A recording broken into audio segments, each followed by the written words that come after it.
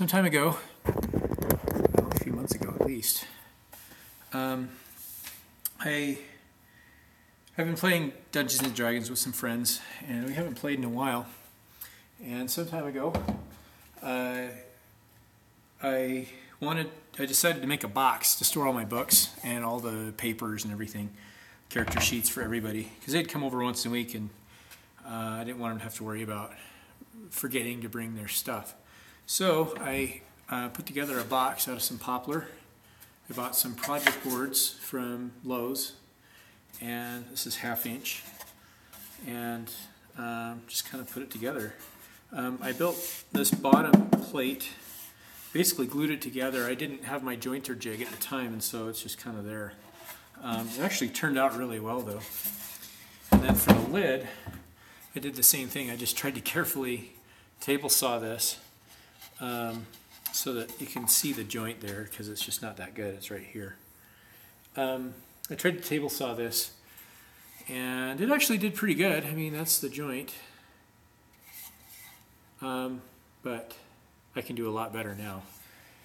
The problem was, is that, well, the problem is, uh, one of my friends, her name's Erin Louay, I know her through my wife, she painted this custom cover for me on the front. And so I don't want to um, pull this apart and rejoint it and reglue it because it'll ruin this picture. So instead what we're going to do is just put it together. I'm going to sand it and put it together uh, and stain it. So that's what we're going to do today. So that should be my workbench. Hopefully this doesn't freak out. It Doesn't look like it will, so that's good. Um, so what I want to do, first of all, um, the edges of this are basically flush with the box. Uh, I built it that way, so these edges are flush. This back edge should be flush, but it leaves a little bit of a lip on the front. Um, I just don't know. Yeah, okay, you can totally see that. So the problem is, is that these edges are really sharp, and so I need to just break them somehow. Um, so I think I'm just going to get some sandpaper and sand it down a little bit. Just these edges to make it so they're just not, you know, super sharp uh, poplar edges, especially these corners. Um, and I've got some cool little hinges that I bought.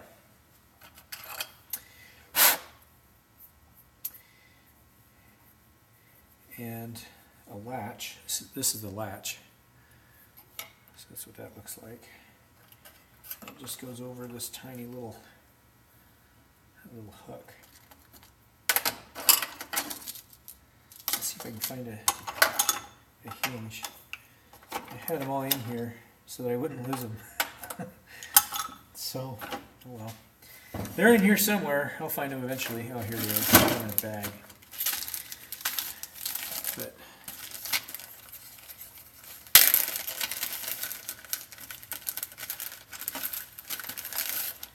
This is what one of the hinges looks like. So that's kind of neat. If it comes with little screws and things too. So um, yeah, I'm just going to sand this really quick. Just get those edges down so they're not super sharp. And then uh, I'm going to stain it. I'm actually still a little bit on the fence on the color to use for stain because um, I just haven't decided yet, I guess. When I'm done, I've got some uh, bar, well, I'll just show you. I got a box. Basically just epoxy. That's what it looks like. It's probably backwards because it's using the front-facing camera, but it's Parks Super Glaze, pour on finish. Um, it's a two-part substance. So you basically uh, mix a one-to-one ratio of part A and part B together and it makes this clear glaze. And then you just pour it on whatever you want to be glazy. So I'm tempted to use that on this. Um, I want, I'm going to use that on my, my desk. Um, in any case you don't know, well I can't get that off easily. But the desk is, it's over there um, I, am going to do that glaze as part of the desk, but I wanted to at least have the lid ready so that I could glaze the lid with any extra glaze that I have. So I'm going to just sand these edges down real quick and stain it. And then we'll be ready.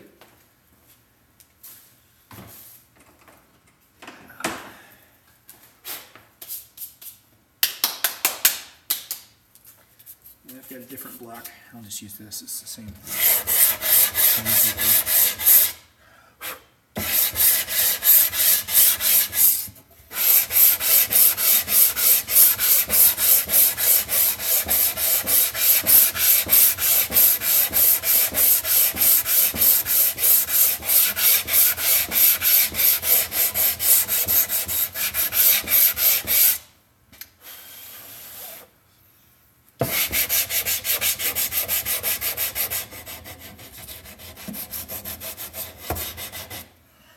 Let's pull this off.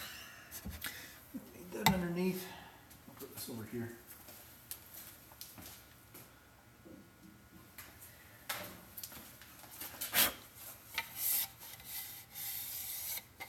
That feels much better.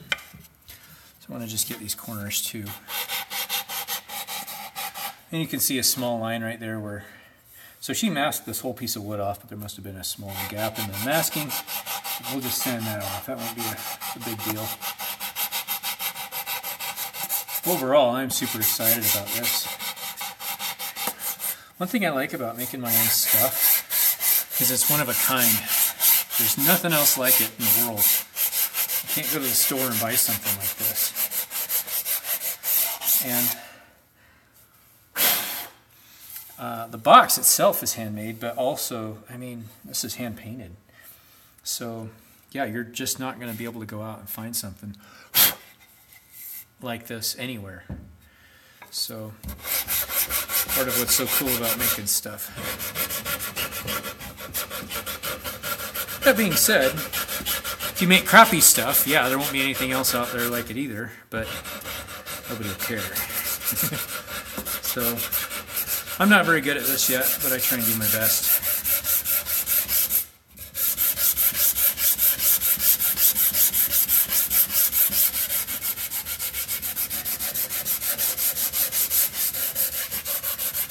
Now this sandpaper, let me just check it. I think this is a 150 and coat 236. I don't know what that even means.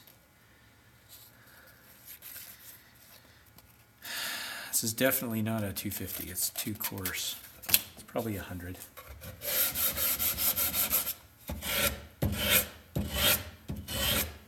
It's, it's removing material pretty easily. All right, let me show you the difference here. So this, let's see if the camera can see it. That's an unbroken edge, and it's pretty sharp. I can almost get slivers if I, well, maybe not, but it's it's pretty sharp. I wouldn't want to bump any of these corners, so that would kind of hurt. That's a broken edge, that's what I just did. So it's kind of beveled a little bit. It feels a lot smoother. Looks a lot nicer too, I really like that. So I'm just going to make that kind of an edge all the way around. Where did we leave off? Right here.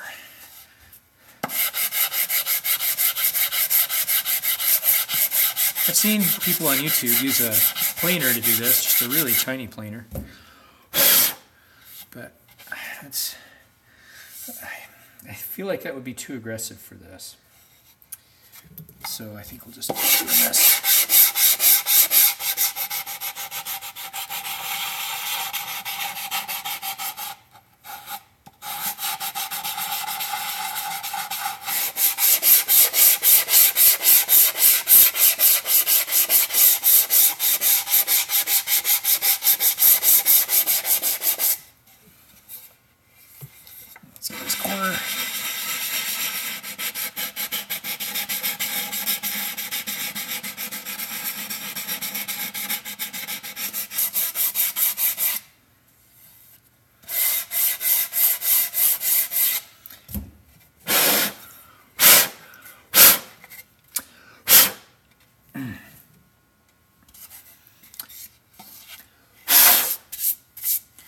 Need to get probably before I buy anything else, I need to get a dust collection system really bad.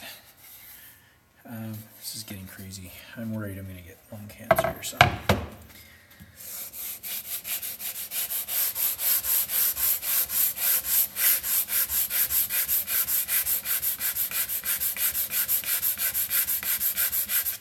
Okay. Get that little bit of paint off, will be alright.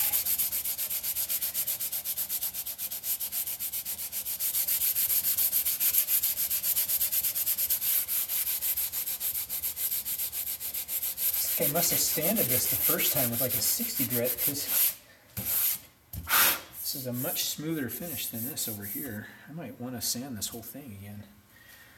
I have to be careful because I don't want to ruin on this. I thought that I sanded this really well before I gave it to her. I must not have used very good sandpaper. It must have been like a 60 grit or something.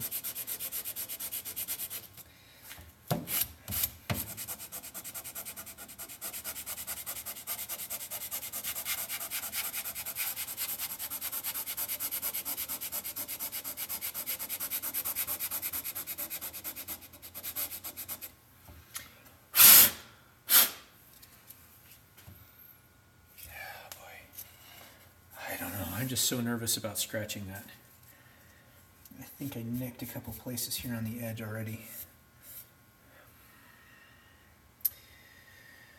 I mask it off, might help a little bit. I'm just worried that this will just go under the masking anyway and give me a false sense of security. Just keep going do the best we can.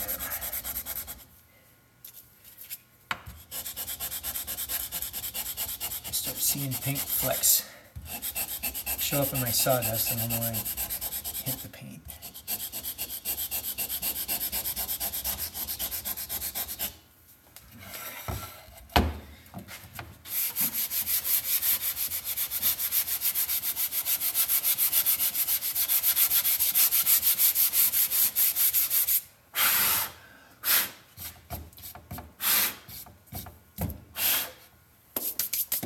That's much better.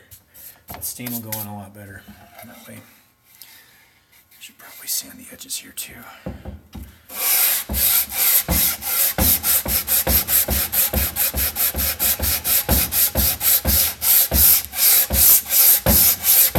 After I get dust collection, I have to get a vise. Oh.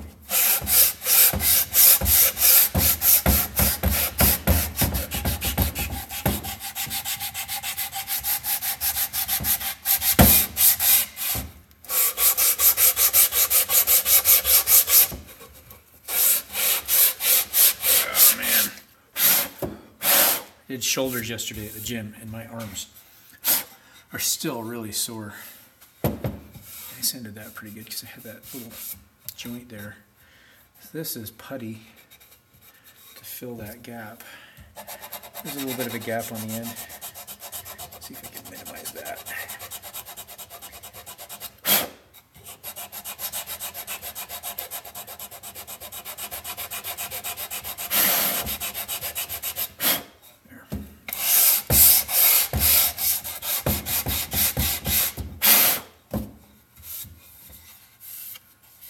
I got some paint right there.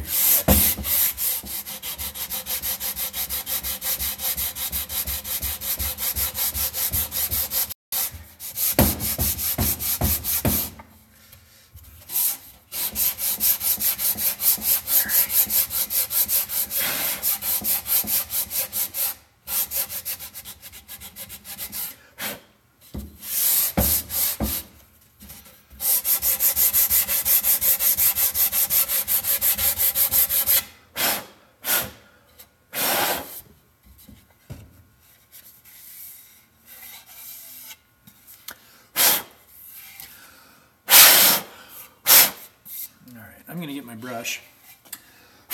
Brush all this off. Where's my brush?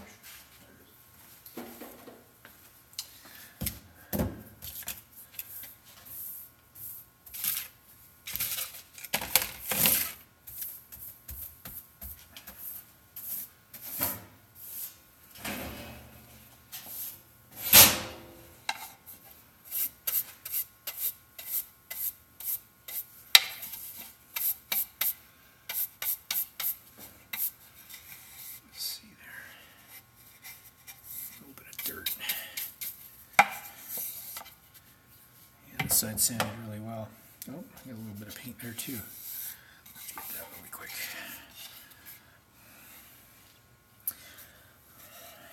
Isn't that a cool knot right there? That's such a cool knot.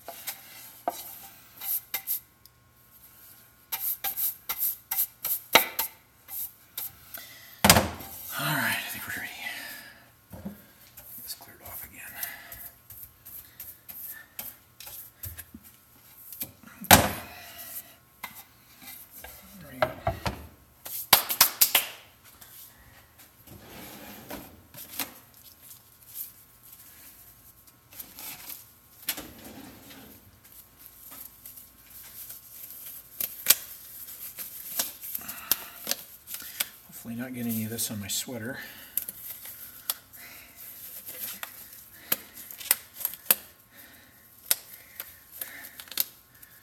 All right. So these are the colors I've got. Uh, our favorite, ebony. I've also got this other stuff called Jacobean, which has a little more red in it. It's not as dark. Um, I've never used it on poplar before, so I honestly don't know how it's going to turn out. Um, I've got another kind called Special Walnut. Let me show you these two actually. So this one's Special Walnut.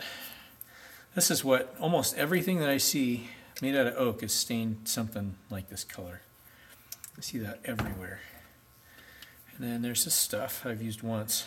Um, it's kind of a red stain. I've, I don't know, it's red, so I'm a huge fan of that. Might go with ebony again. I might do the back just to see what it looks like. Let's do that.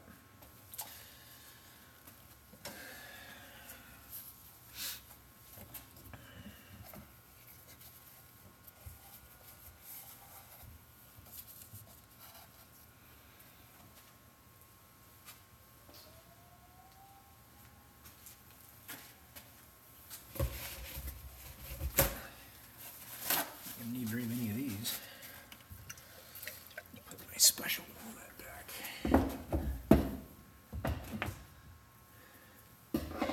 Gotta protect my special walnut.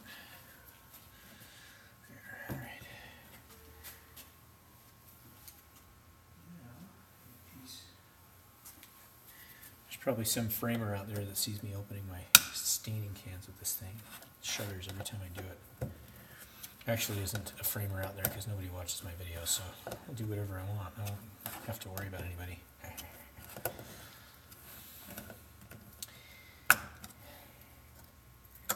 I probably should have shook that up first. Let's do that first.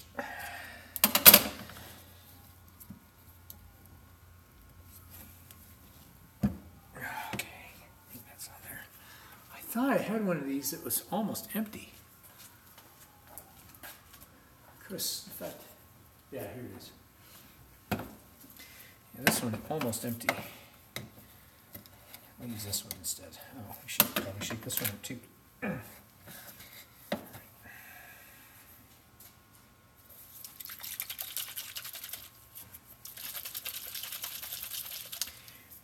Oh, did I? I think I did.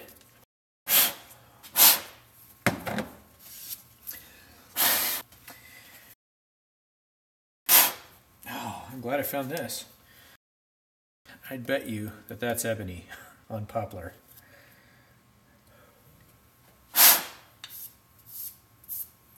I'd bet that that's the Jacobean.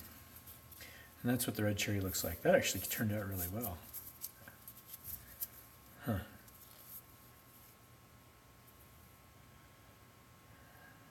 I wonder what that was.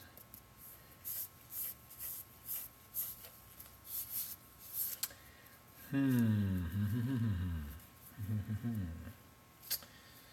well, just to be sure, I'm going to put some ebony on this side.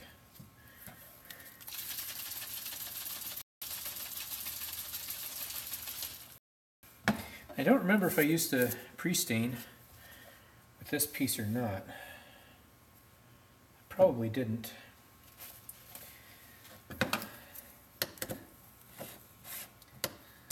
Probably good anyway because I'm out.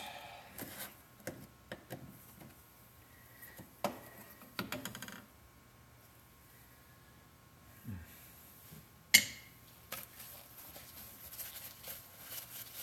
Alright. Now for the good part. Get some stain on there.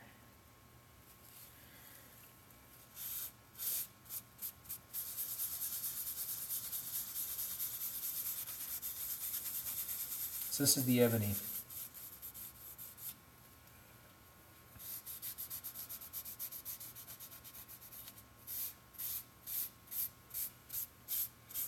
I've been told to go across the grain with stuff like this just because it helps work the stain into the wood better. Um, there's probably somebody else out there that's like, oh, you have to go with the grain. So, love to hear the reason. Actually, there is anybody out there. Haha. Not that I know of. Is there anybody watching? Nope. So, haha. I don't care.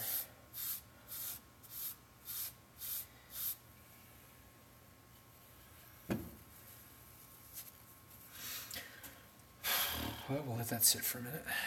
Pretend like we're staining the rest of the box.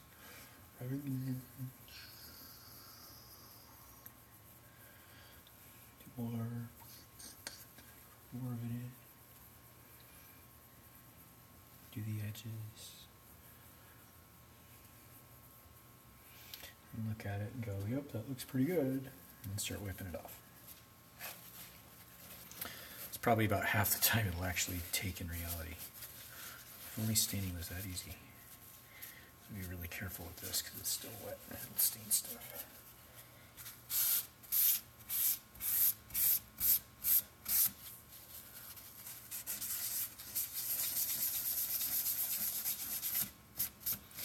That doesn't look half bad. I think on the front, this part right there, I must not have let it sit very long and I must have wiped it off really fast. Looks like I need to just let it penetrate and it'll look really good, actually. I like that. So let's do that.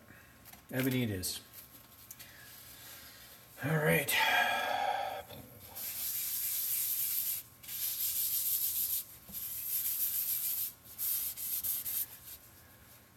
It would take longer.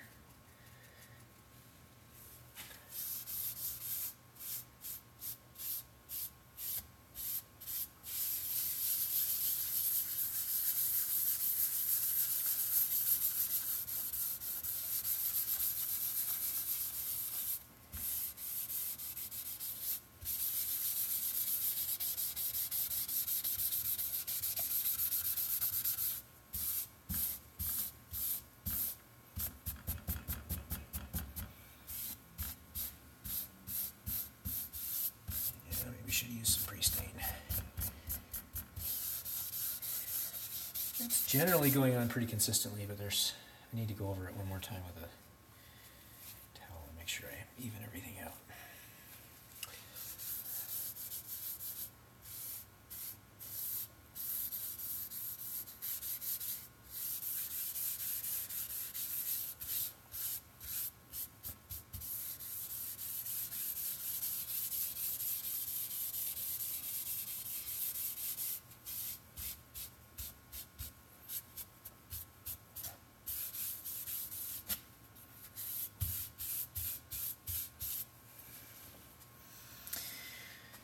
I think I'm going to leave the edges for now. This is going to look really boring. I'm going to try and do the front. A little bit of dust still. All right.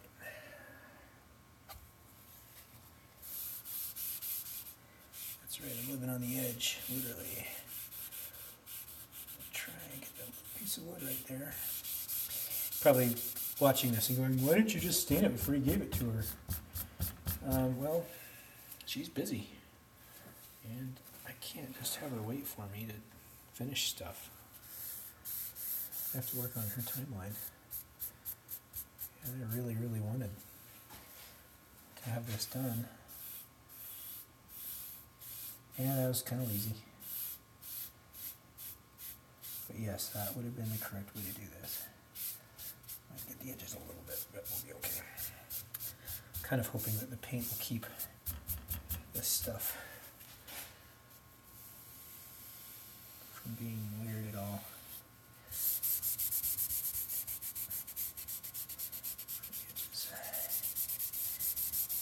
Hope paint doesn't absorb this stuff.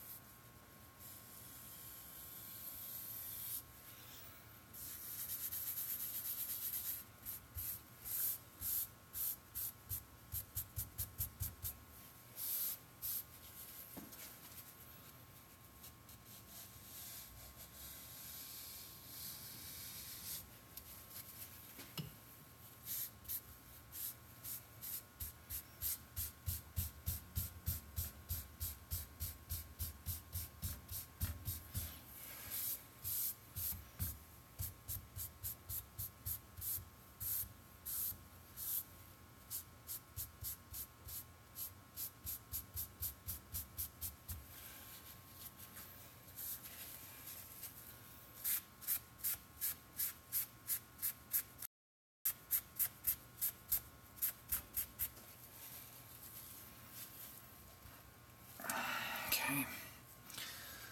Well, now we have an option, a decision to make, I guess.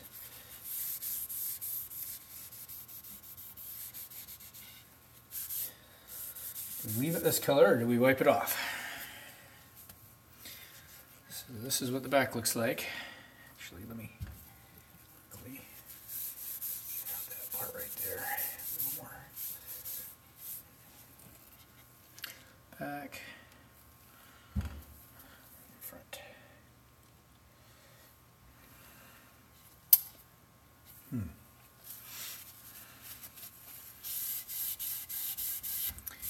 I think I'm just going to let it dry like that.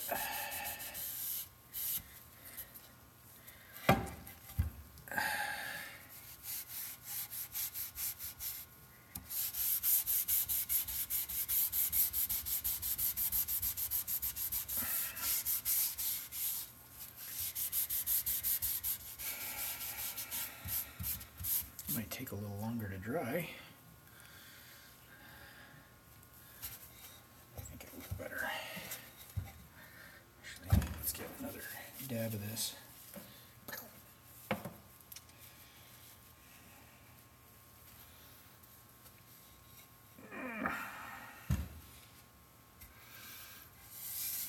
Make sure this doesn't run down the front.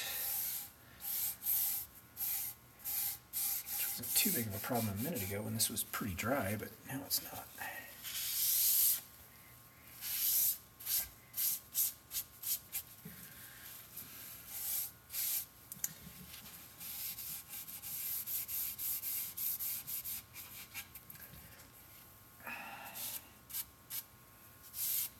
Okay. I'm actually going to wipe down that side a little bit because that got kind of dark.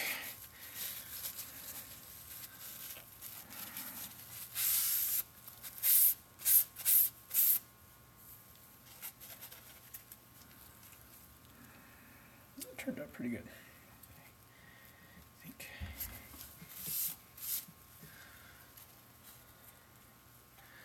All right, now to find a creative way to let this dry. Hmm.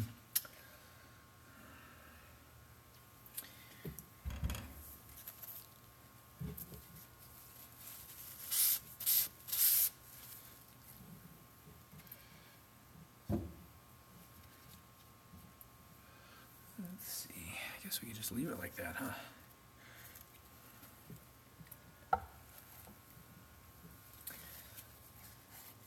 Kind of like that.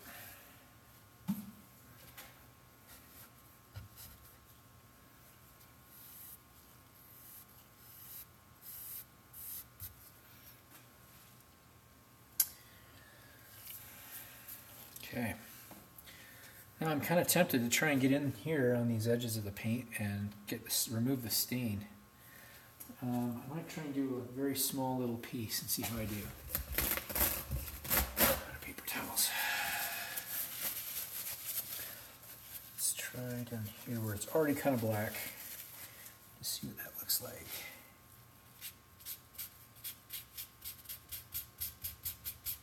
Yeah, it kind of works, sort of.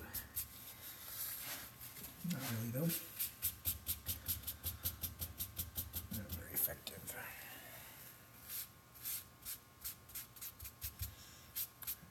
Maybe I can at least blend it.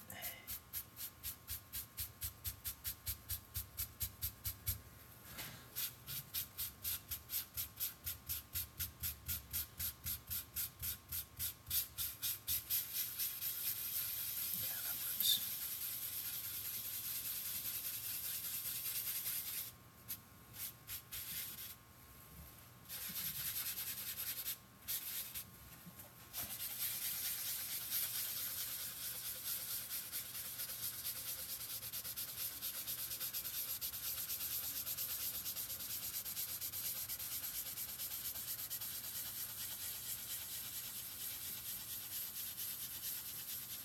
Give it kind of a big net. Sure I'm saying that wrong, but that kind of an effect.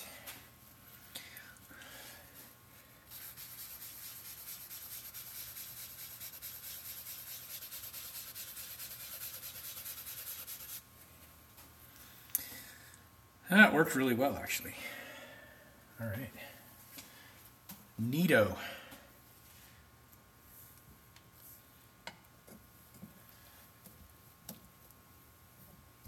All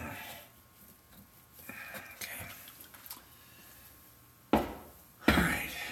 Now, for the rest of the box, I've got this stuff. Just something that my cabinet maker left at my house on accident.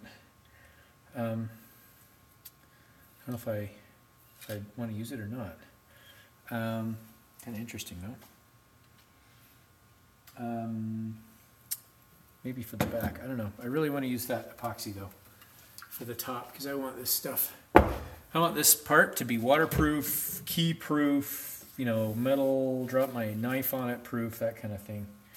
I don't want that ever to get scratched or anything. So I think we'll do that. Put these away since we're done with the sandpaper.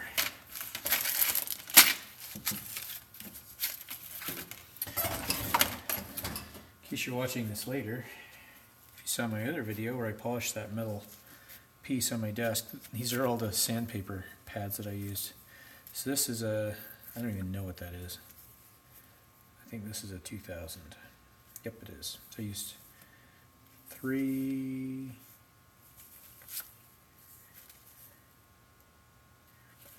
four, uh, nope, that's a 1500. So three 2000s, two,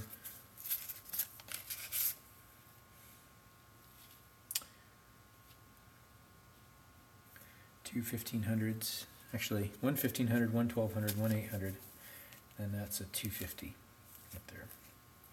We go all the way to 60. Oh, this one's a 2000. So four 2000s, holy cow. So this one, you're probably looking at it and going, what's all that black stuff? Well, that's polish, polishing compound. Um, the 2000 just wasn't fine enough to get the, the finish that I wanted. And so I stuck this on the, the sander, got my polishing compound stick, it's this stuff from Harbor Freight, and just went and let it spin. And it just picked up a bunch of that compound, and then I just got it on the metal. And it actually polished. So, woohoo. Good that something called polishing compound does something like that. Uh, when I first tried to use it, it actually scratched it. so, put swirl marks into it. Anyway. Okay, now what do we do? Should start epoxying the table. We do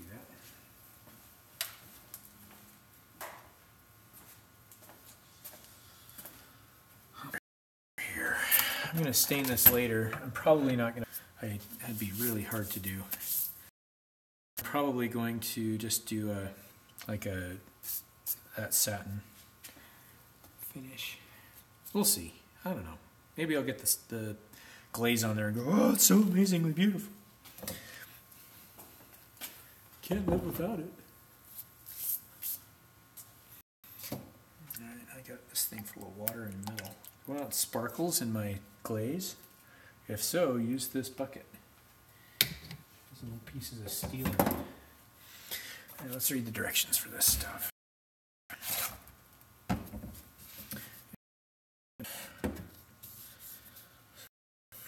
Accidentally get it.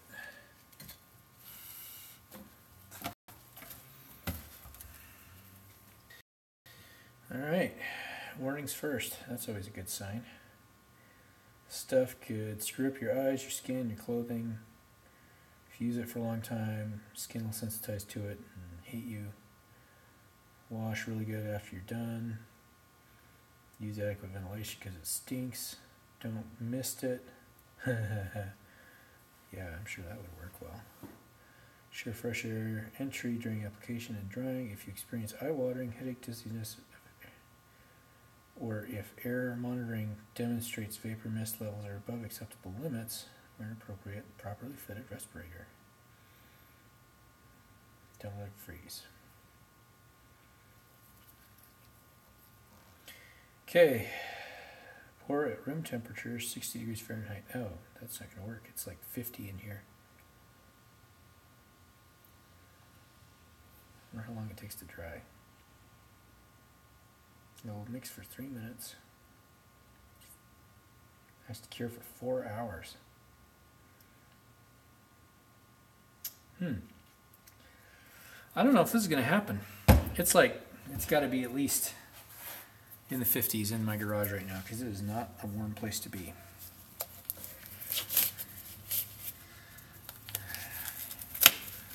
So, yeah. Hmm. Wonder how temperature affects this stuff. It probably just doesn't set up very well. It's probably weaker if it's in a colder environment or hotter environment, warmer. Sawdust off of this so I don't accidentally get it in the mix.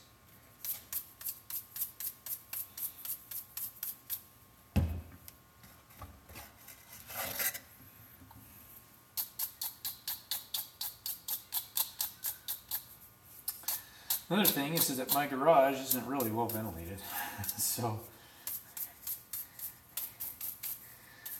Uh, let's see, what are my options here? I could go turn on the furnace and open the door and let the furnace bake, uh, warm up the garage a little bit. I could just polyurethane the surface of this table. Here, put this up here. Um, Could polyurethane the table. We could, I don't know, I really like this resin. It's epoxy because it's just strong, and durable. There's the desk. So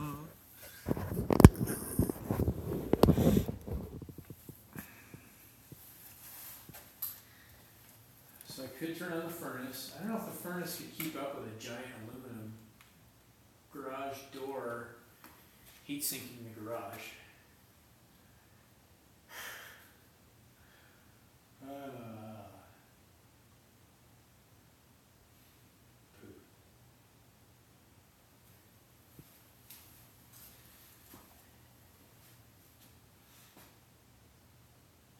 I guess I could just put a coat of poly on this first to seal it, and then put the epoxy on later.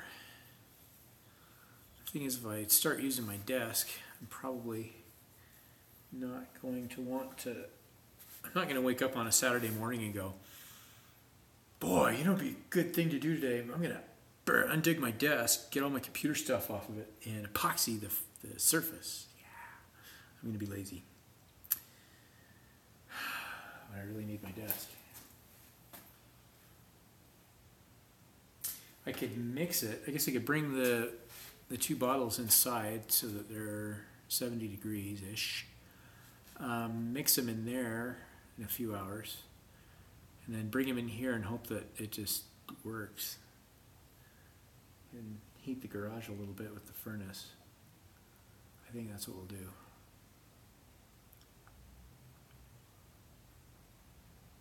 I think that's what we're gonna do.